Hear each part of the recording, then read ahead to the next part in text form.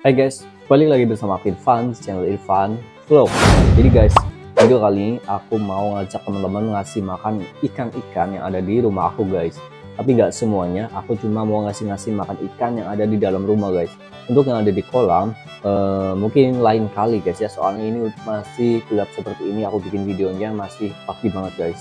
Jadi kali ini kita akan ngasih-ngasih beberapa ikan cana, ikan uh, air tawar yang ada di sini di glassbox ini guys dan juga uh, ikan air payo yang kita nangkep itu guys. Yang kita menangkap pakai jala gitu ya. Nah, oke okay guys. Jadi sekalian kita ngasih-ngasih makan ikan kita juga update cana-cana limbata albinoku guys. Dan di mana ini aku seneng banget karena mereka itu tumbuh dengan uh, baik ya sehat-sehat. Ini contohnya guys ini cana limbata albinonya. Nih di sini dan kita akan ngasih-ngasih makan sana limbata albino dulu ya. Teman-teman yang belum subscribe subscribe juga channel Irfan Vlog dan juga channel Irfan Kapi ya. Oke guys langsung aja guys kita ngasih makan ikan sana limbata dulu guys. Oke guys ini pakan limbata albinonya kita pakai ulat Hongkong kayak gini ya.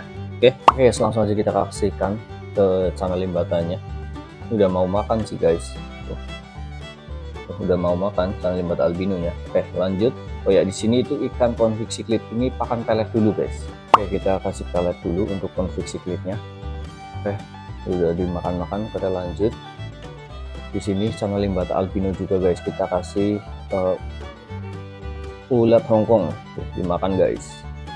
Nah jadi guys channel limbata albino ini adalah channel limbata uh, kelainan dari channel limbata ya kelainan gen gitu ya jadi albino enggak keluar gen warna-warna hitam gitu ya. Atau uh, al apa sih melanin ya kalau nggak salah guys. Nah jadi uh, ini udah mau makan pelet juga sebetulnya guys. Tapi aku lagi kepengen ngasih uh, ulat aja ya.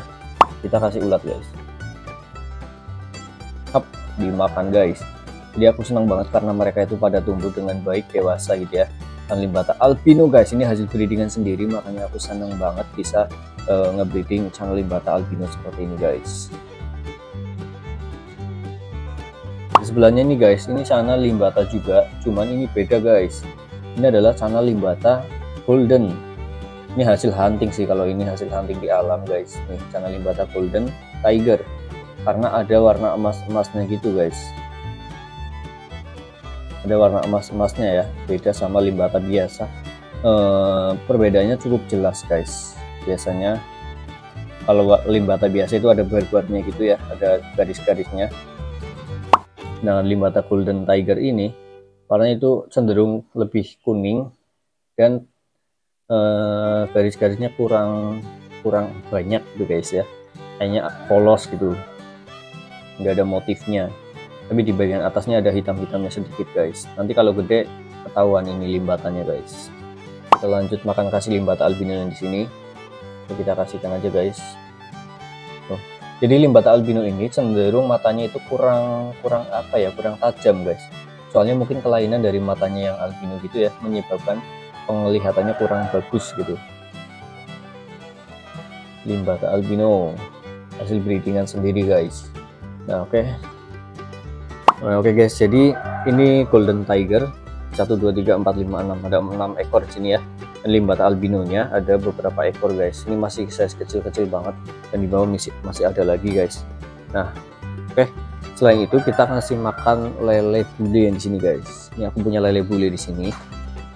Nah jadi ini yang hasil hunting itu guys. Yang pertama hunting itu. Dan ukurannya udah lumayan gede kita kasih pellet guys di atas ini ya kita tabur-taburkan meses seres maksud aku pelletnya guys kita tabur-taburkan dari atas gini ya Nah, lele bule ini nggak tahu nih ukurannya bisa segede apa guys. Tapi uh, mungkin ini yang paling gede yang pernah aku lihat lele bulenya gitu guys.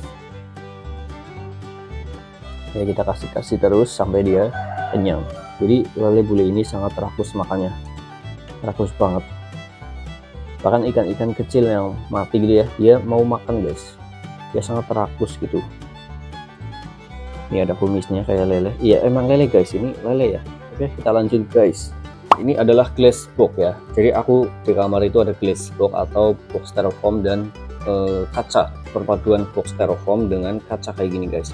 Dan di sini itu ikan-ikan hasil hunting dan hasil beli juga. E, oh ya guys. Oh iya apa ya? Guys sekalian kita ngasih makan kita sekalian lihat-lihat ikannya guys ya. Apakah ada yang eh, mati atau apa kita lihat dulu kayaknya nggak ada. Oke kita kasih kasih pakan guys. Jadi di sini ada beberapa ikan hasil hunting. Nah ini ikan tarpon guys tarpon hasil hunting ya eh, ikan betok juga hasil hunting. Kalian kita taruh-taruh pakannya guys. Nah ini hasil beli di toko ikan nih. Ini ikan dentis apa apa gitu guys tuh ada ikan Texas di sana. Ikan Texas itu ikan yang lucu banget bentuknya itu kayak apa gitu ya? Bulat gitu guys. Lucu sih. Nah terus ada ikan apa lagi ya? Nah ini ikan konflik cichlid yang kita rescue dari kolam. Kolam yang ada di outdoor guys ya. Kita ambil untuk taruh di sini. Oh, terus ikan break hasil hunting Oke, jadi intinya kayak gitu guys. Ini ada ikan black juga di sini guys. Terus ada ikan-ikan uh, lundu juga ada di sana tuh ya, yang kumisnya paling panjang ya. Ikan catfish dengan kumis terpanjang itu guys. Ikan lundu. Oke, kita kasih kasih pakan. Dan kayaknya mereka udah kenyang guys, karena udah aku kasih makan. Nah, di sini ada ikan yang pemakan predator atau pemakan daging ya kita lempar uh, ulat hongkongnya guys untuk Oscar dan juga ikan-ikan uh, break dan ikan split lainnya guys. Ini ada ikan parrot putih di sini guys tuh. Oke kita lanjut guys. Oke guys apakah di sini ada yang nanya? Sana limbata hasil mancing itu pada ke mana? Oke kalau ada yang nanya sana limbata hasil-hasil hunting itu kan aku dapat banyak guys. Jadi nggak semuanya itu aku bawa pulang ada sebagian besar aku lepasin lagi ke alamnya supaya kita tetap bisa menikmati mancing-mancing di alam guys. Jadi e, beberapa aja yang aku bawa pulang ya yang bagus-bagus aja gitu guys. Guys sekarang kita ngasih makan salas striata atau ikan gabus lokal hasil hunting di alam. Jadi ada di kolam pink guys ya. Jadi ada di sini. Ini pakannya cuma ulat hongkong. Kita cuma ngasih lempar aja gitu ya. Kita cuma lempar doang gini. Oke. okay. Kita lempar guys. Kita tunggu sampai mereka mendekat gitu guys. Udah mendekat. Sana limbat eh limbata. Harus pelan-pelan ngomongnya guys. Soalnya mereka masih takut dan mager gitu. Nih jangan seriata. Mau makan guys? Mau makan. Ayo makan. Gak jadi makan guys. Gitu cuma lewat doang. Tuh ada dua di sini. Besar-besar sebetulnya ada tiga di sini guys tapi nggak tahu satu ke mana. Mungkin nyusep ke pasir ya.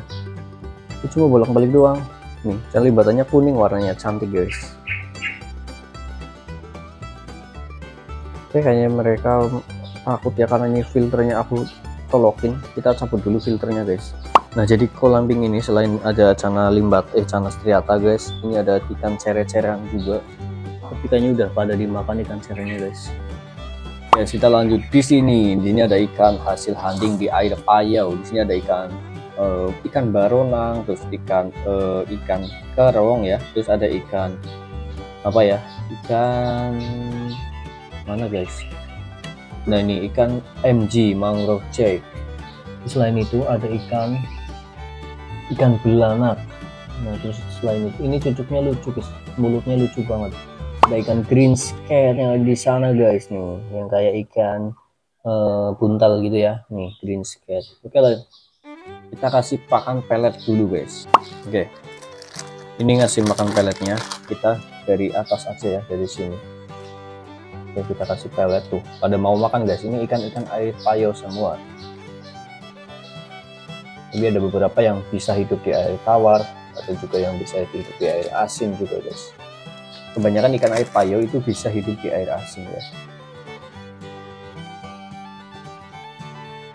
Nah oke. Okay. ini ikan mangrove jack nggak mau makan pelet jadi kita harus cari ikan kecil buat dimakan sama dia guys. Oke okay, kita ambil ikan kecil dulu. Oke okay, jadi ini wader pari. Kita dapat wader pari doang. Kita langsung masukin. Nah oke langsung dihajar guys. Langsung dihajar sama MG mangrove jacknya. Uh. tuh langsung dibanting-banting ke sana kemari. Ikan mangrove jack ini ikannya sangat rakus sekali guys. Jadi